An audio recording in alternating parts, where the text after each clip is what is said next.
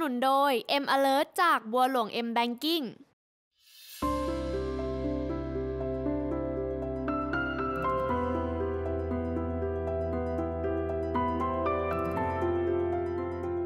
หมู่บ้านศรีวิเชียนนี้นับเมื่อ 40 ปีที่แล้ว นับเป็นหมู่บ้านของคนโรคเรื้อนนับซึ่งส่วนใหญ่แล้วนับบางส่วนอาจจะอพยพมาจากพม่า บางส่วนอาจอพยพมาจากลาวนับแล้วอยู่ใน ชุมชนนี้นับจุดเริ่มแรกเมื่อ 40 ปีที่แล้วนับมีคุณพ่อลูซี่คณะเบตลางนับได้ก้าวเข้ามาเยี่ยมคนเจ็บคนป่วยที่นี้นับแล้วดูเหมือนว่าสิ่งที่สำคัญของคนเจ็บคนป่วยก็คือมีวัดเล็กๆนะเพื่อเป็นจุดศูนย์กลางของคนเจ็บคนป่วย หลังจากที่สร้างวัดเล็กๆแล้วนะคุณพ่อรูซี่ได้รู้ว่าคณะคำเลี่ยนซึ่งดูแลรับผิดชอบเกี่ยวกับคนโรคเรื้อน โดยตรงนะจึงได้มีโอกาสได้พบปะสัมมนาทูตนะแล้วเมื่อมีโอกาสได้พบปะกับสัมมนาทูตแล้ว ได้รายงานว่าชุมชนศรีวิเชียนนี้นับแต่เดิมชื่อว่าก็ปะหวายนะมีความต้องการทางด้านสุขภาพอนามัยนับสังคมต้องการความช่วยเหลือนับอุปโภคบริโภคนับสุขภาพอนามัยนับจึงขอให้คณะคำเลี่ยนได้ก้าวเข้ามาช่วยในจุดนี้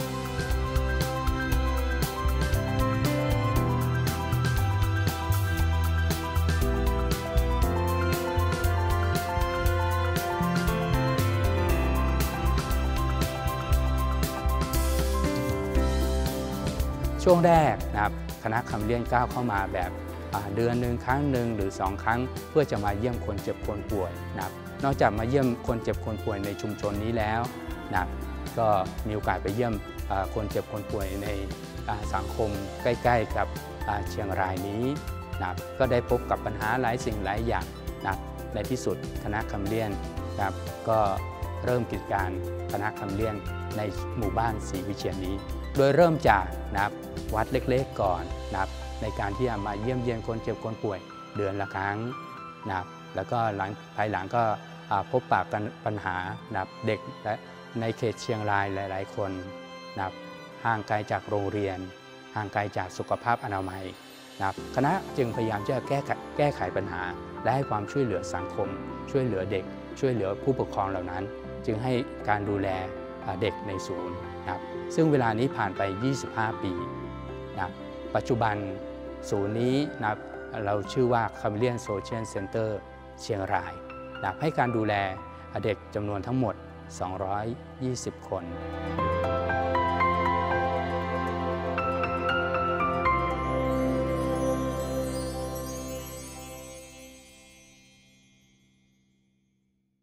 ความเชื่อของอในเขตภาคเหนือที่ผ่านมานับ แน่นอนนับส่วนหนึ่งอพยพมาจากพม่าและลาวนับความเชื่อของอพม่ากับลาวก็เป็นความเชื่อที่ดั้งเดิมนับแลแล้วก็เข้มแข็ง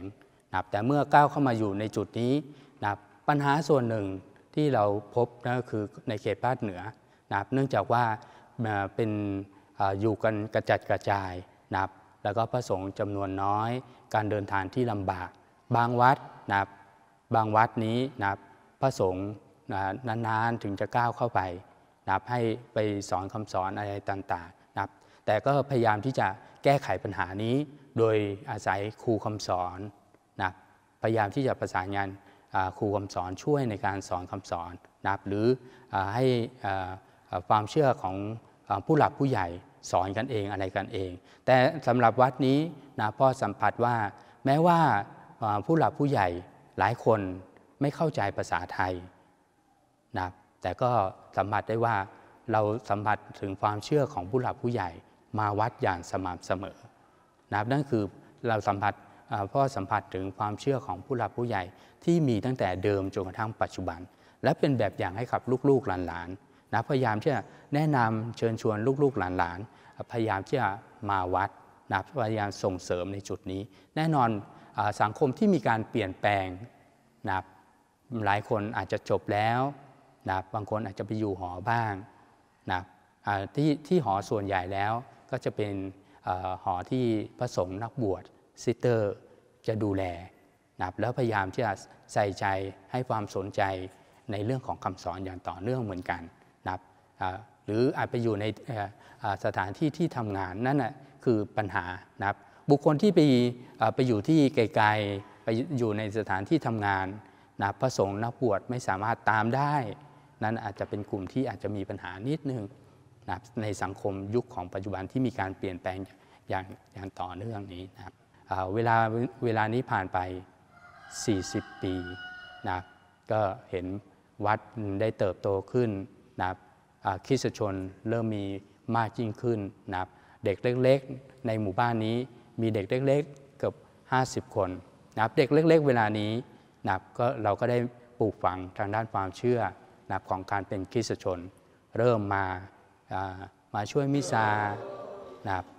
มาฝึกร้องเพลงนำสวดโภนา เรามีมิซาทุกวันนะครับทุกคืนนะครับเวลาหนึ่งทุ่มนะครับ แล้วมีกลุ่มผู้สูงอายุ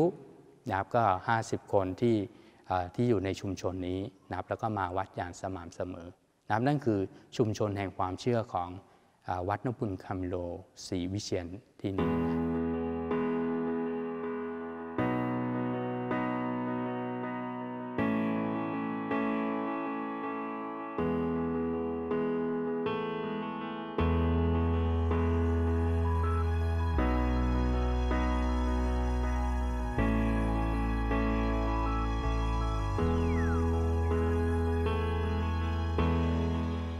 จากที่แจ้งให้ทราบเริ่มต้นที่คณะคาเมเลียนไปในดอยต่างๆนะครับได้พบปัญหาว่าเด็กส่วนใหญ่ห่างไกลจากโรงเรียน จากสุขภาพอนามัยนะครับแล้วก็ผู้ใหญ่บ้านนะครับผู้ปกครองนะครับก็อาจจะมามาหาพบปะกันและพูดคุยมองถึงปัญหาของเด็กนะครับแล้วก็พยายามที่จะให้ความช่วยเหลืออเด็กต่างๆเหล่านั้น นะครับแล้วก็มีการพบปะไปเยี่ยมเยียนและดูถึงความต้องการว่าเด็กคนไหนนะที่มีความต้องการจริงๆนะแล้วส่วนส่วนใหญ่แล้วงบประมาณนะก็ได้มาจากต่างประเทศบ้าง ได้มาจากใจศรัทธาภายในประเทศไทยด้วยนะและแหล่งสนับสนุนทั่วประเทศเหมือนกันนะก็เราเองหรือได้มาจากโครงการที่เราพยายามจะ ทำเพื่อจะให้ความช่วยเหลือทางด้านสังคมนะครับก็เด็กกลุ่มนี้เป็นเด็กของเขตภาคเหนือทั้งหมดเลย ซึ่งมาไกลที่สุดก็คืออยู่ที่เชียงใหม่นะครับ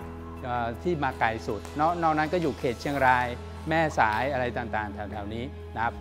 เด็กเราเด็กกลุ่มนี้นะครับเเวลาที่อยู่กับคุณพ่อคุณแม่ คุณพ่อคุณแม่อาจจะไม่สะดวกในการที่จะดูแลนะครับแล้วก็บางคนอาจจะต้องการ ไปทำงานในในที่ต่างๆนะครับแล้วก็เลยมาอยู่ในจุดนี้นะครับบางคนอาจจะสูญเสียคุณพ่อคุณแม่ด้วยนะครับก็มีความต้องการเด็กทุกคนอยู่ณที่นี้นะครับนอกจากเด็กอยู่ณที่นี้แล้วนะครับแล้วก็มีสิ่งที่จะพัฒนาเด็กหลากหลายพอสมควรนะครับจุดหนึ่งที่มีการพัฒนาเด็กก็ในเรื่องของกายกายภาพนะครับเด็กหลายคนนะครับก็สามารถจะมาเดินได้อะไรได้นะครับมี กายภาพที่ดีขึ้นก็จากจุดนี้โดยมีเรามีนักกายภาพด้วยนะครับและนอกจากนั้นก็มาดูแลทางด้านสุขภาพอนามัย อาหารการกินอะไรต่างๆ ให้ครบนะครับแล้วรวมไปถึงในเรื่องของการศึกษานะพยายามส่งเสริมการศึกษา เด็กคนไหนที่สามารถที่จะอยู่ในสังคมได้ตามปกติ เราก็จะส่งไปเรียนในโรงเรียนร่วมกับเด็กปกตินะครับแล้วก็โดยให้รุ่นพี่ ช่วยดูแลรุ่นน้องด้วยอะไรด้วย เด็กคนไหนที่ไม่สามารถจะอยู่ในสังคมได้นะครับที่บ้านเกื้อกูลนี้ก็เปิดเป็นโรงเรียนด้วยเหมือนกันนะครับโดยแบ่งเป็นชั้นต่างๆนะครับตั้งแต่ป .1 จนถึงป .6 นะครับแล้วก็มีคุณครูที่ทำหน้าที่ในการสอนนะแต่ละวิชาแต่ละวิชาไป ตั้งแต่เช้าจนกระทั่งเย็น นะครับก็สิ่งหนึ่งที่ที่สอนนะครับแล้วก็สิ้นปีก็จะมีการประเมินนะมีการประเมินว่าเด็กนะครับแต่ละคนแต่ละคนมีการเติบโตมีการพัฒนาอย่างไรบ้างนะครับเด็กกลุ่มนี้นะครับทุกคนนะครับจะได้รับการเรียนคำสอนนะครับทุกวันนะครับเวลา 8 โมงจนถึง 8 โมงครึ่ง และรวมไปถึงในเรื่องของพิธีบูชาขอบพระคุณ เด็กกลุ่มนี้จะสามารถจะตอบโต้นะครับร่วมพิธีบูชาขอบพระคุณนะครับรวมไปถึงช่วยมิสซาด้วยนะครับและช่วยมิซานี้ก็คือช่วยมิซางานใหญ่นะครับที่อาจจะมีกรรมยานมีอะไร ก็เปิดโอกาสให้เด็กกลุ่มนี้ได้ได้พัฒนาได้ช่วยมิซาในงานใหญ่ด้วยเหมือนกันนะครับก็จะเห็นว่าในเรื่องของคำสอนในเรื่องของข้อความเชื่อ เด็กกลุ่มนี้จะแม่นพอสมควรนะครับมีโอกาสสูงพอสมควรนะในในจุดนี้ และเด็กหลายคนนะครับก็มาขอรับสินล้างบาป ขอรับสินมหาสนิทอะไรต่างๆ ก็ในจุดที่นี้ด้วยเหมือนกันนะครับซึ่งออย่างอย่างท่านนี้นะครับก็กำลังเตรียมตัวที่จะรับสินมหาสนิทเหมือนกันนะครับในวันที่ 25 ธันวา หรืออมีอยู่ 2-3 ท่านที่กำลังเตรียมตัวรับสินกำลังด้วยเหมือนกันนะครับก็เราจะไม่ไม่ใช่ว่าเรื่องของสินศักดิ์สิทธิ์เราก็ เมื่อจุดหนึ่งก็จะค่อยๆให้ไปด้วยเหมือนกันนะครับ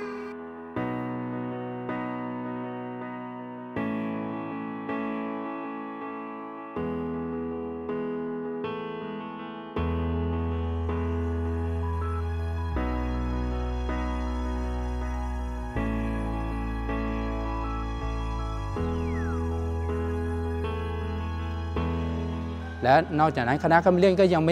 ไม่ไม่หยุดไปเยี่ยมเยียน คนป่วยนอกสถานที่อยู่ตลอดเวลานะครับแล้วก็ได้พบปะกับคนเด็กพิการจำนวนมากมายพอสมควรที่ต้องการความช่วยเหลือ บางครั้งเด็กพิการอยู่ในชุมชน พ่อแม่ไม่มีเวลาให้การช่วยเหลือ บางครั้งพ่อแม่นับแต่แยก บางครั้งพ่อแม่สูญเสียนับเด็กสูญเสียพ่อแม่นับเราจึงให้ความช่วยเหลือสังคมเด็กจำนวนนี้นับจึง เปิดบ้าน Home of Charity ขึ้นมานะครับนั่นก็คืออประวัติเริ่มจากวัดเด็กศูนย์สามเณรแล้วก็เด็กพิการนะครับส่วนวัดนี้นะครับเป็นวัดของสังฆมณฑลเชียงใหม่ โดยมอบหมายให้คณะคำเลี่ยนได้ดูแล วัดนี้นะครับมีชุมชนทั้งหมดนะครับเกือบ 400 คนนะครับมีทั้งหมด 8 ชนเผ่าด้วยกันนะครับแต่ชนเผ่าที่มากสุดก็ดูเหมือนว่าเป็นชนเผ่า อาคาและไทยใหญ่ไทยลื้อนะครับส่วนชนเผ่าอื่นๆ ก็มีปะปลายไปอะไรไปนะครับอยู่ด้วยกันทั้งหมด 8 ชนเผ่า โดยมีวัดนี้เป็นจุดศูนย์กลางนะครับในการที่จะให้ความช่วยเหลือทางด้านจิตใจนะครับนั่นคือเอเวลาเวลานี้ผ่านไป 40 ปีนะครับก็เห็นวัดได้เติบโตขึ้นนะครับคริสชนเริ่มมีมากยิ่งขึ้นนะครับเด็กเล็กๆ ในหมู่บ้านนี้มีเด็กเล็กๆเกือบ 50 คนนะครับเด็กเล็ก ๆ เวลานี้นะก็เราก็ได้ปลูกฝังทางด้านความเชื่อนะของการเป็นคริสตชน เริ่มมาอ่ามาช่วยมิซานะมาฝึกร้องเพลงนำสวดโภนา เรามีมิซาทุกวันนะทุกคืนนะเวลาหนึ่งทุ่มนะแล้วมีกลุ่มผู้สูงอายุนะก็ 50 คนที่ ที่อยู่ในชุมชนนี้นะครับแล้วก็มาวัดอย่างสม่ำเสมอนะครับนั่นคือชุมชนแห่งความเชื่อของอวัดนพุนคำโลศรีวิเชียรที่นี่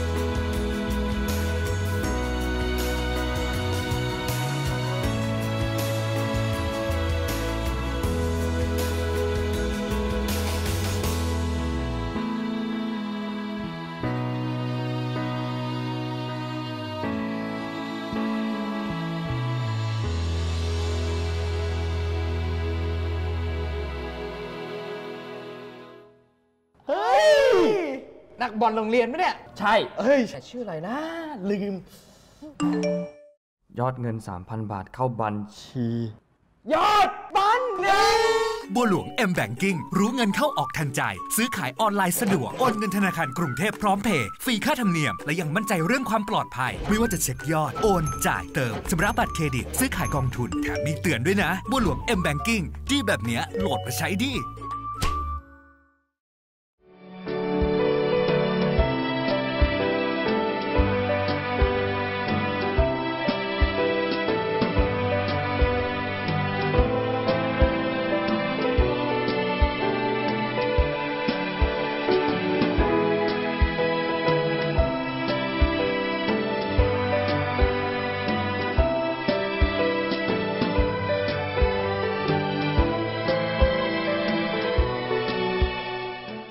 tell me What can you offer this office? My name is Konika. Um, My name is Surinda. I graduated from St. Teresa International College with a degree of Business Administration. During my college year, St. Teresa had given me an exceptional experiences with all the extracurricular activities, career-oriented and globally competitive. Thank you. เพราะภาษามาพร้อมกับโอกาส วิทยาลัยนานาชาติเซนต์เทเรซา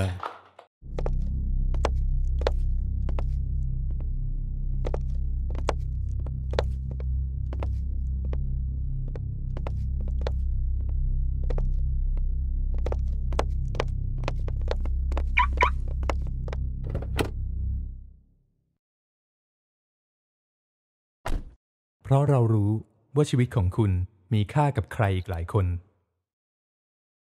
บริษัทอินเตอร์การ์ดกรุ๊ปประเทศไทยจำกัด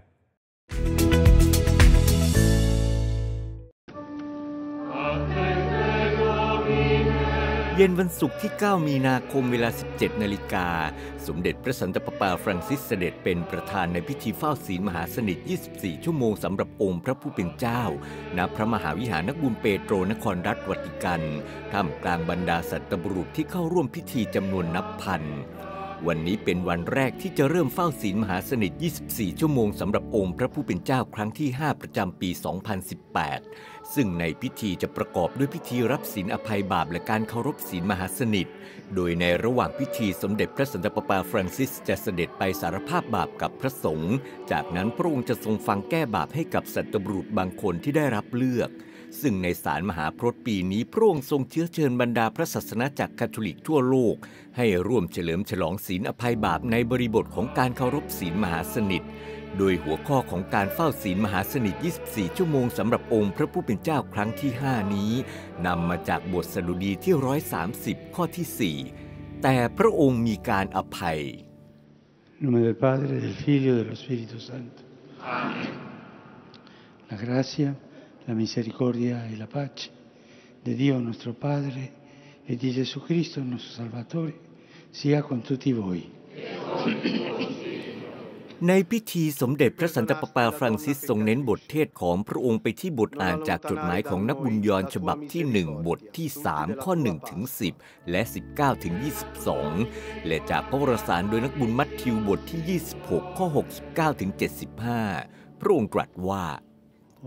ถ้อยคำของนักบุญยอนเป็นบ่อกเกิดแห่งความชื่นชมยินดีและความปลื้มปิติทำให้เรารู้ว่าความรักของพระเจ้าที่ทรงมีเพื่อเรานั้น ลึกซึ้งมาก ด้วยเพราะเราเป็นบุตรของพระองค์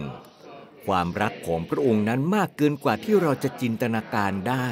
และมากเกินกว่าความผิดบาปใด ๆ ทั้งปวงที่มโนธรรมของเราติเตียนความรักของพระองค์เป็นความรักอันไม่มีที่สิ้นสุดและไร้ซึ่งขอบเขต เป็นพระหฤทันสถานของพระเจ้าที่เราสามารถพึ่งพาได้ เพื่อเสริมสร้างความหวังของเราให้เข้มแข็งขึ้นว่า เราจะไม่มีวันขาดจากความรักของพระองค์เลย แม้เราจะปฏิเสธการประทับอยู่ของพระองค์ในชีวิตของเราก็ตาม Fa che accogliamo con gioia i frutti della redenzione e li manifestiamo nel rinnovamento della vita per Cristo nostro Signore. จากนั้นสมเด็จพระสันตะปาปาตรัสต่อไปว่าสำหรับนักบุญเปโตรท่านสอนเราในเรื่องของช่วงเวลาที่ชีวิตของเราหลงทาง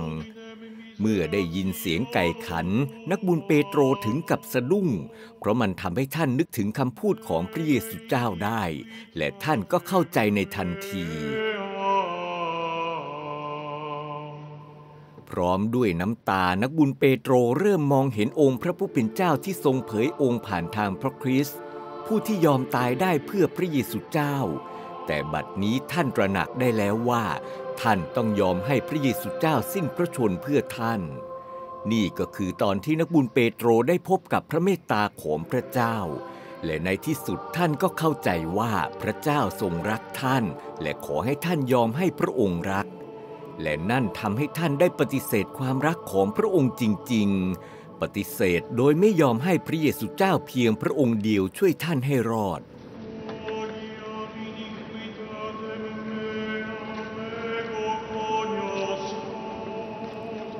ที่สุดสมเด็จพระสันตะปาปาตรัสสรุปว่า ยากจริงๆ ที่เราทุกคนจะยอมให้พระเยซูเจ้ารักเรา ส่วนหนึ่งเรามักจะไม่อยากเป็นหนี้บุญคุณใคร ในขณะที่ความเป็นจริง เราเป็นหนี้พระเจ้าอยู่เต็มร้อย เพราะพระองค์ทรงรักเราอยู่ก่อนแล้ว และด้วยความรักพระองค์จึงทรงช่วยเราให้รอดอย่างครบบริบูรณ์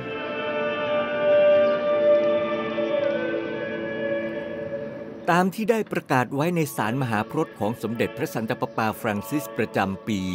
วันที่ 9 และ 10 มีนาคม 2018 นี้ เป็นวันที่กำหนดให้จัดพิธีเฝ้าศีลมหาสนิท 24 ชั่วโมงสำหรับองค์พระผู้เป็นเจ้าในระดับสากล ซึ่งพิธีในพระมหาวิหารบุญเปโตรวันนี้ จัดขึ้นเป็นครั้งที่ 5 โดยสมณสภาเพื่อส่งเสริมการประกาศข่าวดีใหม่